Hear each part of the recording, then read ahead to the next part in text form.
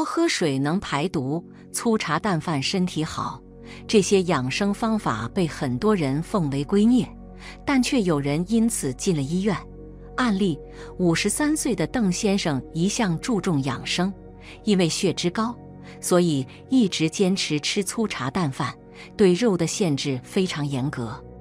可后来他渐渐感觉疲劳乏力，去医院一查，发现不仅血脂高，而且脂肪肝严重，引起了肝功能损伤。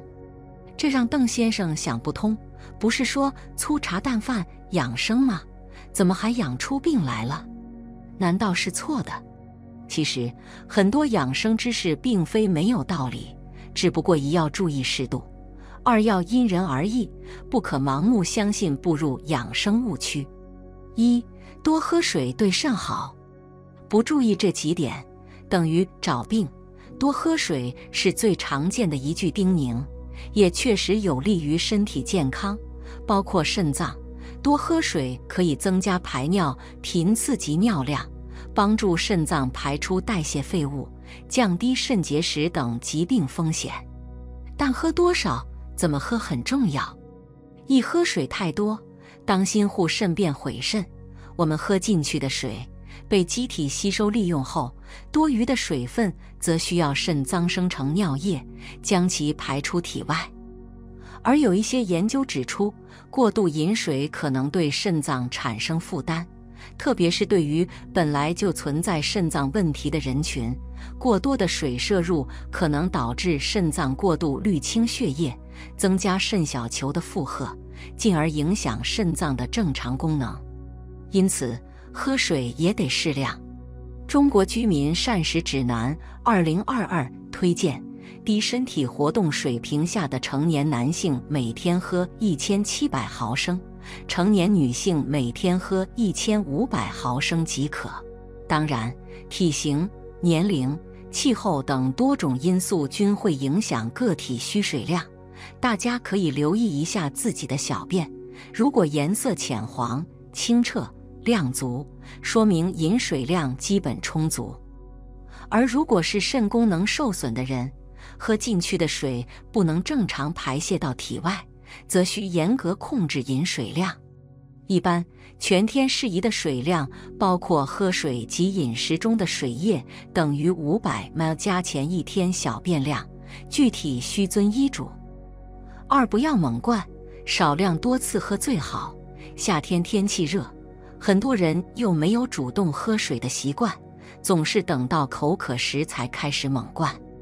但这可能会超出肾脏负荷，引发水中毒。人的肾脏每小时能排水八百至一千毫升，若在短时间内大量饮水，肾脏负担加大，过多的水分无法通过尿液排出，就会使得水分在体内潴留，引起血浆渗透压下降和循环血量增多，即为水中毒。发生水中毒时，人会有头晕、口渴、肌肉疼痛和痉挛等症状，严重时甚至会造成呼吸困难、心跳骤停，危及生命。所以，平时最好养成主动喝水的习惯，少量多次饮用。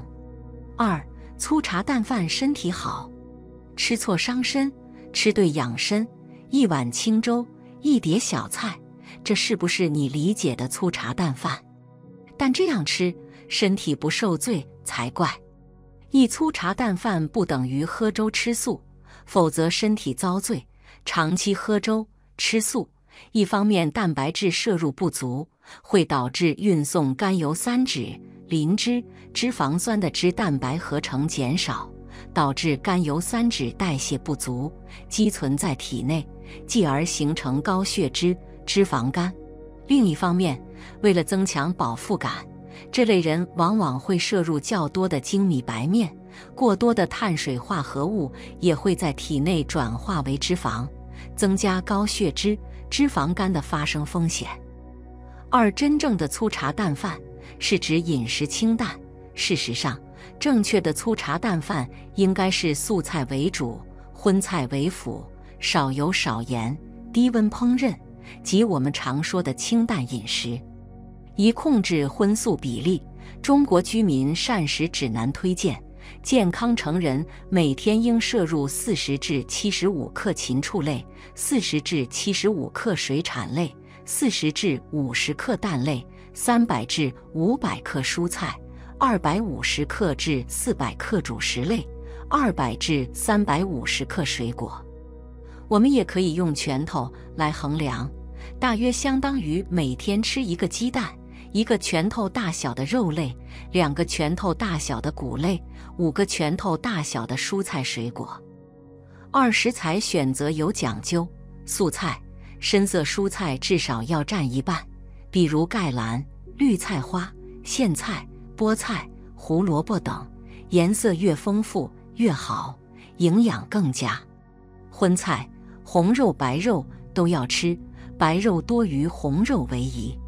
主食粗杂粮要占据主食的一三至一二，以补充膳食纤维、B 族维生素等。水果草莓、樱桃等低糖水果优先，控制荔枝、哈密瓜等高糖水果的摄入量。三注意烹饪细节，每人每天油摄入量控制在二十五至三十克，盐摄入量在五句以下。尽量多选蒸、煮、炖、炒、焖等低温烹饪方式，减少营养流失及有害物生成。三、过午不食养胃又减肥，小心越养越胃伤，还容易复胖。过午不食也是流传了很多年的养生观念，据说这样做既能减肥，又能减轻胃肠负担。然而事实并非如此。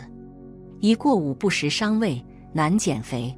过午不食原本是佛教的戒律，指的是出家人从午后到第二天黎明不吃东西。出家人主要的活动是修行打坐，而且日落而息睡得早，热量消耗少，所以少吃一顿饭问题不大。但对于现代人来说，不吃晚饭开始可能会变瘦。但持续一段时间后，机体会开启节能模式，基础代谢水平会下降，相当于同样的进食量，身体消耗的更慢了，体重就很难下降，而且一旦恢复正常饮食，也更容易复胖。同时，现代人睡得晚，如果过午不食，空腹时间就会特别长。而这个过程中，胃酸依然在分泌，就容易伤及胃黏膜，引发胃炎甚至胃溃疡等，反而不利于胃健康。二一日三餐不能少，晚餐适合查漏补缺。发表在《营养与饮食学会杂志》上的一篇研究发现，一日三餐少吃哪一顿都增加死亡风险。不吃早餐。心血管疾病死亡风险增加百分之四十，而不吃午餐或晚餐，全因死亡风险增加百分之十二、百分之十六。所以晚餐还是得吃，而且要查漏补缺。大家可以在吃前仔细回想一下早午餐和零食加餐都吃了什么，再以上面的几个拳头为基准，适当进行调整。通过这一顿把缺乏的营养补充齐全，比如白天前两顿如果多是肉食，那晚餐就可以适当减少点蛋白质，多安排几个素菜，以完成一天三百至五百克蔬菜的推荐量。四，狂刷步数更健康，当心膝关节受不住。生命在于运动，其中走路简单又方便。成了很多人的首选运动方式，但每天狂刷步数，日行万步以上更健康。一日行万步可能损伤骨关节，对于健康的年轻群体来说，日行万步问题不大。但中老年人膝关节退化、膝关节病的风险本就大，如果每天盲目坚持日行万步，更可能使膝盖受损，出现红肿、发热。疼痛的症状，而若已经患有骨关节炎、骨膜炎、痛风性关节炎等病，盲目日行万步还可能会加重病情。二每天六千至八千步就够了，权威医学期刊《柳叶刀：公共卫生》发表一项大规模研究。研究团队对来自四大洲、覆盖近五万参与者的十五项研究进行了荟萃分析，结果发现，只要多走路，都与长寿相关。但超过一定步数后，长寿获益可能不会再明显增加。具体来说，大于等于六十岁的人，每天走六千至八千步就够了。超过这个步数，预防死亡的好处就不会额外增加了。小于六十岁的成人，每天走八千至一万步，获益基本达到上限。每天步数与全因死亡率之间的剂量反应关系，三做到这几点，才能走出长寿步。膝关节之间有一层软骨，起到缓冲重力和润滑的作用。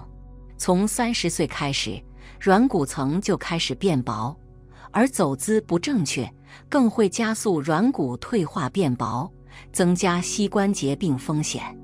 想要走出长寿步。必须谨记“稳、准、狠”三个字。稳，每迈一步都要十分稳当，不要左摇右晃；准，脚尖向前，不要外八或内扣；狠，腿迈出去以后，用核心力量往前走。